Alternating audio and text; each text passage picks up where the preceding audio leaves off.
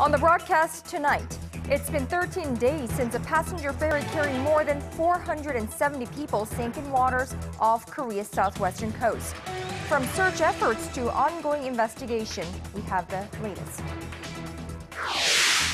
Speculation is running high that North Korea may soon make good on its threat to carry out another nuclear test. And on the crisis in Ukraine, the U.S. and other G7 states look set to intensify Russia sanctions.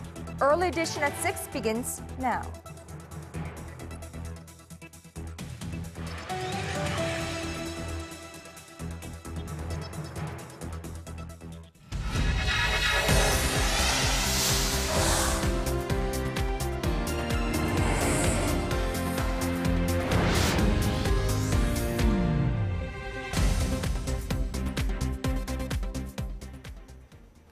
It's 5 a.m. in New York, noon in Kiev, and 6 on a Monday evening here in Seoul. This is Early Edition at 6, live from Seoul. I'm Moon Gonyoung. And I'm Sean Lim. Thank you so much for joining us for the newscast.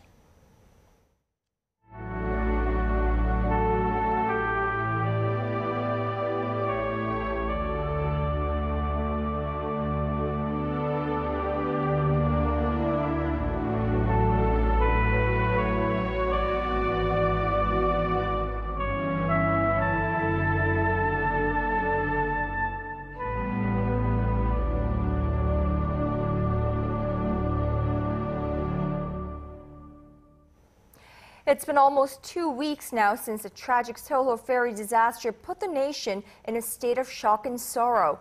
The number of confirmed deaths currently stands at 189, while 113 others, is mostly high school students, remain missing and are presumed dead. For the latest, we go over to our Kwon So-wa, who is standing by at the news center. So, not much progress to speak of with regard to the search in recent days. That's right, Sean. But before we get to that, a few minutes ago, we received a report about the last text message sent from the ship. It was from a student and was sent at 10:17 a.m. on the day of the accident, around two hours after the incident was first reported. And by that time, the ship had capsized by 90 degrees. Now, back to the latest of the search operations. Rescue crews have had a hard time with the harsh weather conditions. Only one body has been recovered today, and that was less than four hours ago. A strong wind advisory in the area was lifted earlier in the morning, but the tides are what's causing trouble, since the underwater currents are much stronger than can be seen above the water. The visibility is also changing on a nearly hourly basis due to the foggy conditions, and that's been prompting officials to suspend searches at various times throughout the day. When divers are in the water, they are mainly focusing on the fourth floor of the ferry, where most of the remaining missing are thought to be. So far, around one third of the 111 cabins have been searched. Now, so uh, uh, earlier in the day, a video was released by authorities that shows the the actually first moments of the rescue situation. Now, what did we learn from that? Yes, Kanyang, uh, that video is very crucial in determining how the first minutes of rescue efforts were carried out, but also in proving that the captain and the rest of the crew were among the first who fled the ship. The center of attention of the nearly 10 minutes of footage taken by a member of the rescue team is the period between 9.43 a.m. and 9.49 a.m. It shows the captain of the Sewol ferry Lee Jun-seok and his crew fleeing without attending to passengers. The captain was not wearing his uniform or pants as he left the vessel with the help of the Coast Guard, meaning the rescuers had no chance to distinguish him as being the captain. By 9.35 a.m., all 15 crew members had begun fleeing the ship, but as the video shows, hardly any passengers could be seen on the deck of the ferry, which is raising criticism that the crew did not order to them to leave the ship. The prosecution special investigative team is continuing to look for those responsible for the ferry sinking. What's the latest there? Yes, Sean, the number of subjects in the probe is increasing. Investigations into the ferry's operator's practical owner Yoo Byung-eun continue as prosecutors raided four locations in Seoul, Daegu, and Gyeonggi-do province this morning looking for evidence of paper companies. Prosecutors say at least three companies fit that description. And this morning, prosecutors also raided the Mokpo Coast Guard station, suspecting officers there of neglecting their duties in the early stages of the rescue. The Mokpo Coast Guard has been accused of wasting precious minutes by asking a student who made the first emergency call from the ferry whether he knew the coordinates of the vessel's location. The Special Investigative Team has also arrested three members of the Korea Shipping Association, including the head of the Incheon branch, for destroying evidence in relation to the case. Investigations into whether the Sewol ferry had malfunctioning lifeboats and life jackets on board are also expected to be expanded. The investigators believe the products may have been used ever since they were manufactured in May of 1994. This comes as earlier today, two lifeboats were found floating near the accident site, meaning they began to work much later than they should have. Normally, a lifeboat would deploy automatically when receiving external pressure. Now, that's all I have for now, but I'll be back with more updates in around two hours. Well, amid the national outrage over the government's slow response to the tragedy, the president is expected to swing the axe and make sweeping changes to her cabinet. President Park Geun-hye has approved Prime Minister Chung Hong-won's resignation, but wants him to wait until after the ferry disaster has been brought under control. Our Kim Myung-gil has more on the expected cabinet reshuffle. Faith in the government has eroded over the past couple of weeks due to its poor handling of the Sewol ferry disaster. With Prime Minister Chung Hong-won's resignation, there's mounting speculation a large-scale reshuffling of the cabinet is on the way to appease public anger and give the Park administration fresh impetus. Political watchers say a number of high-level officials could get the chop, including Security and Public Administration Minister Kang Byung-gyu, Education Minister Son Nam-soo, and Oceans and Fisheries Minister Lee Ju-young. A number of ministers have come in for fierce criticism for their misconduct and remarks following the sinking. The ruling Saenuri Party says a reshuffle will give momentum to reforms in the country to prevent a similar disaster occurring again. A parliamentary committee has decided to deliberate on seven bills related to safety at sea, while the Saenuri Party plans to propose new bills to eradicate bureaucratic connections with related maritime industries. The main opposition New Politics Alliance for Democracy is also preparing to unveil its own ideas on how to improve public safety. As the June 4th local elections edge ever closer, President Park's tumbling approval rating could damage the Saenuri Party's chances. The opposition party is expected to continue attacking the ruling party over Chung's resignation and its mishandling of the ferry disaster. Kim Young-gil, Arirang News. Meanwhile, memorial altars for the victims of the Sewol tragedy have been set up nationwide in 17 different cities and provinces, and the altars will be open to the public for 24 hours. The memorial altar at Seoul Plaza is officially open to the public from 7 a.m. to 11 p.m. However, anyone can pay their respects at other times as well. And a temporary memorial altar set up at Ansan Olympic Memorial Hall, the city hit hardest by the ferry disaster, remains open to the public through Monday. Starting Tuesday, an official memorial altar will be set up at Hwarang Park in Ansan. The altars are scheduled to remain in place until all of those who died in the disaster are returned to their families. And now Danwon High School resumed classes for all three of its grade levels on this Monday, some 13 days after the tragic ferry accident took the lives of so many of their classmates. The school will provide counseling and other psychological support services to help students grieving for their friends. Park Ji-won tells us more. A grief-stricken Danwon High School resumes classes for all grades on Monday. The school has been closed since the tragic ferry accident on April 16th. Only the senior class was in school last week. On Monday, the freshman class and the 13 second-year students who did not go on the ill-fated field trip returned to a school that has suffered a devastating loss. To help students cope with the tragedy, the school offers various kinds of counseling support. The special programs will be led by dozens of psychotherapists and art therapists. The 75 second year students who survived the disaster remain on leave, and it has not yet been decided when they will return to their studies. The decision will be made by doctors and the students' parents, who will also discuss programs for helping them cope with the loss of their classmates. It is better for them to be together. One of the common programs in a situation like this is to have a camp for the students. The parents of the surviving students plan to have their children participate in such a healing program, which will be staffed by therapists, medical doctors, and education experts. Park Ji-won, Arirang News.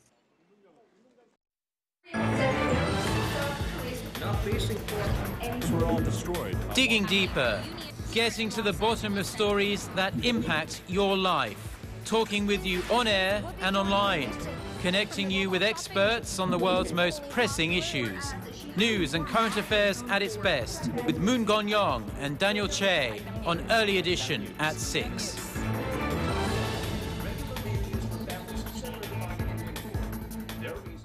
North Korea is ramping up tensions on the Korean peninsula and says there is no hope for inter-Korean relations.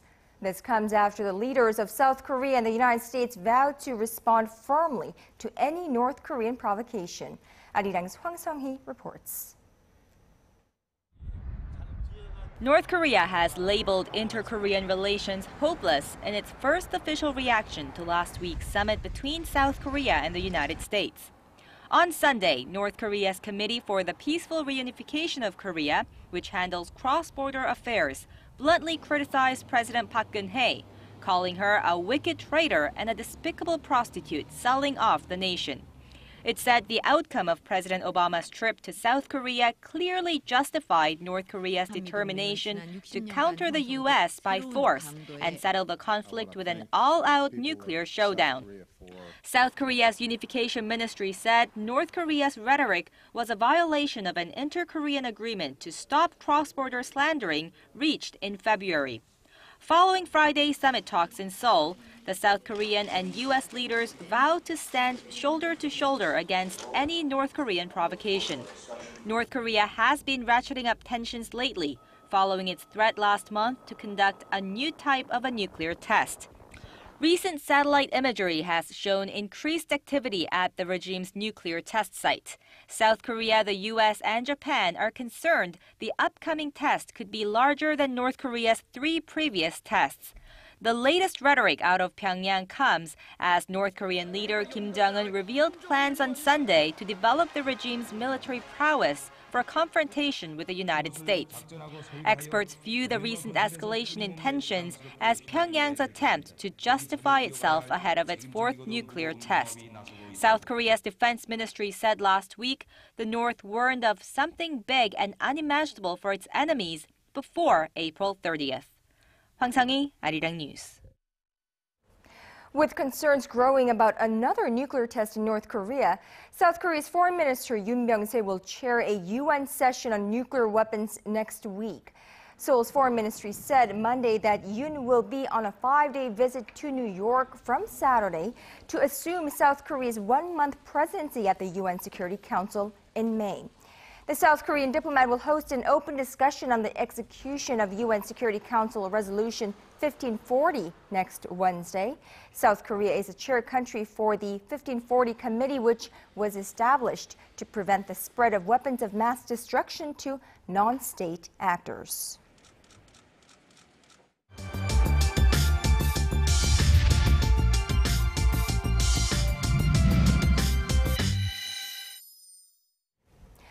U.S. President Barack Obama was in South Korea last week for a two-day visit on the second leg of a tour of Asia that's also taken him to Japan, Malaysia, and the Philippines. President Park Geun-hye and the visiting U.S. leader held a bilateral summit at Seoul's presidential office, which lasted longer than its initial scheduled time of an hour.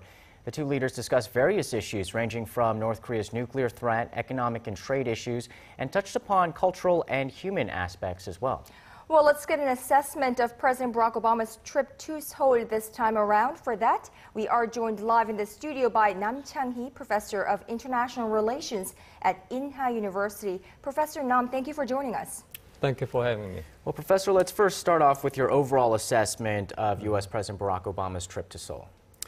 Yes, uh, President Obama's visit to Seoul was shadowed by Japanese recalcitrant stance regarding Yasukuni homage visits and the tragic victims of a sunken ferry. Um, but I would like to call it a success because five major jobs were well done.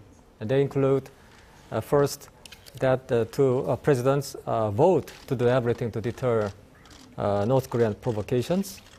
And they agreed to reconsider wartime uh, operational control transfer timing and promised trilateral military information sharing agreement among Korea, the US, and Japan. And obvious FTA and high-level TPP was also on the table, while they agreed to make their missile defense systems interoperable. So they all made very well.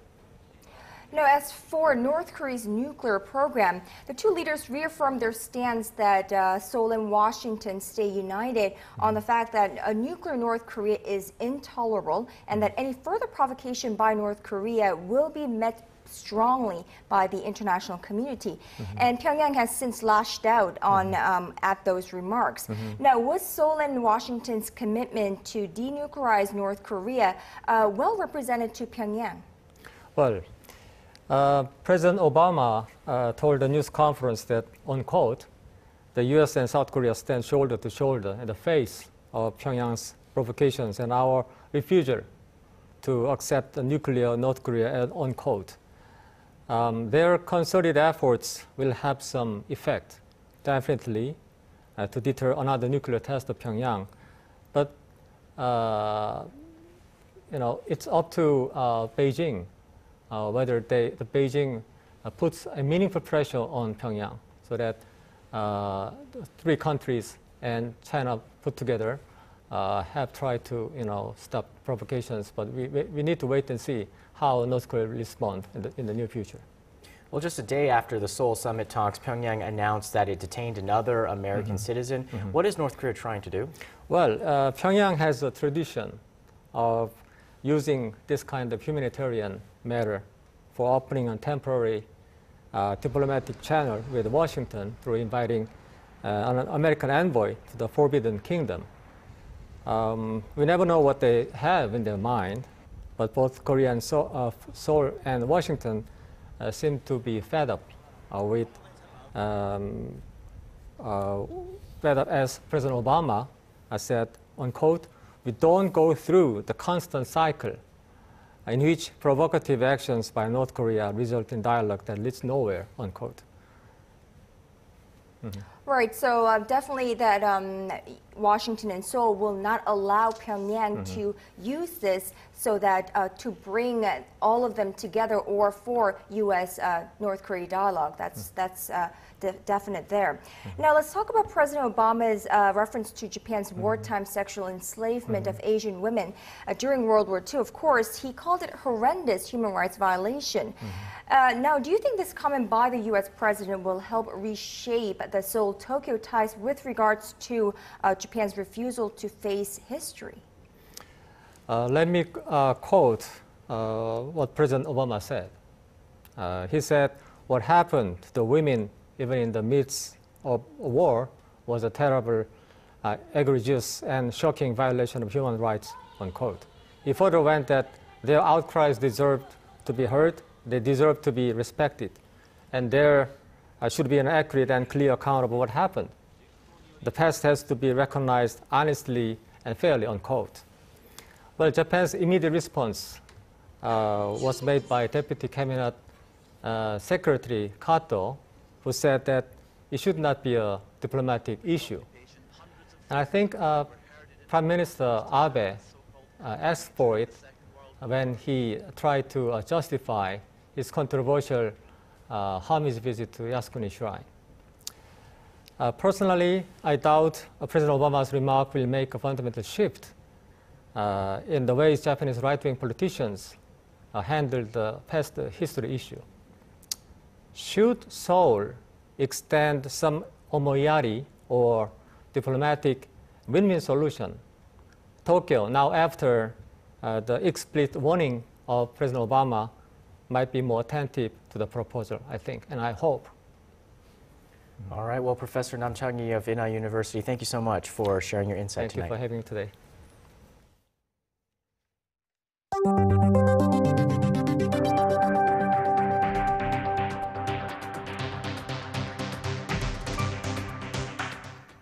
China has unveiled a set of previously confidential documents that reveal crimes committed by the Japanese military, including sexual enslavement during Tokyo's invasion of China. The newly published book, called Irrefutable Evidence, comes at a time of sour relations between the two neighbors. Kim Min-ji has the revealing details. China has released once confidential documents revealing acts of extreme brutality committed by the Japanese military during its invasion of China, including the sexual enslavement of women and the Nanjing massacre. China's Jilin Provincial Archives released 89 documents, which consist of letters written by Japanese soldiers, newspaper articles, and other military files. The documents have been put together into a book titled Irrefutable Evidence. The Beijing News said 25 documents showed women forced into sexual slavery were from China, South and North Korea, as well as a number of South Asian countries. Another Chinese media outlet said the documents show that the total number of comfort women came to about 400,000, half of which were Chinese, while more than 140,000 were from the Korean peninsula. It added that one comfort woman had attended to 178 Japanese soldiers in just 10 days at a comfort station in Nanjing. In regards to the Nanjing massacre, the Beijing News noted that a Japanese newspaper reported that the Japanese military killed some 85,000 people in just three days.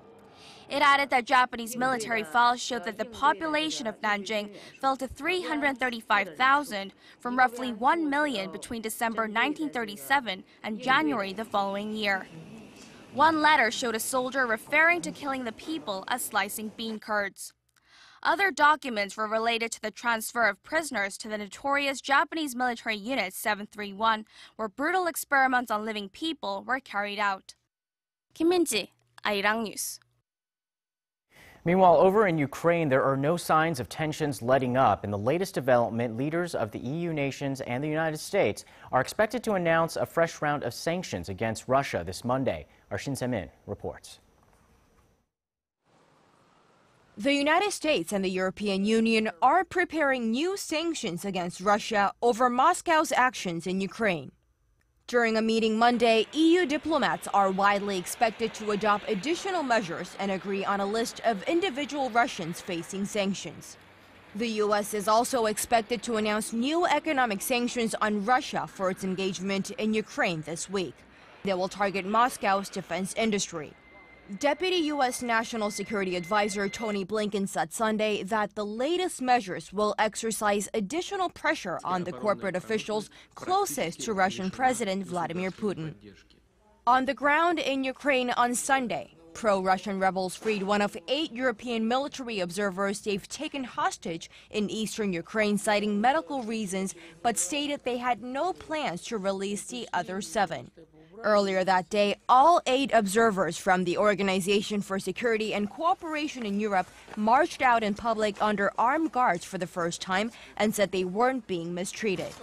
The separatists say they'll release the group if some of their own jailed activists are let out. The West has criticized the group's capture, and Moscow has said it is ready to help secure the release, but hasn't yet taken action. Shin Se-min, Arirang News. A series of powerful tornadoes tore through parts of the southern and central United States on Sunday, leaving at least 14 people dead.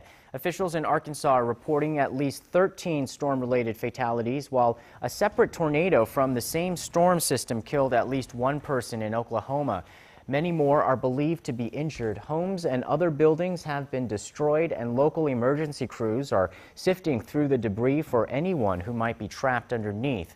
Tornadoes were also reported in parts of Kansas, Iowa, Nebraska, and Missouri, although there were no immediate reports of injuries there. Forecasters had warned for days that violent weather would strike over the weekend.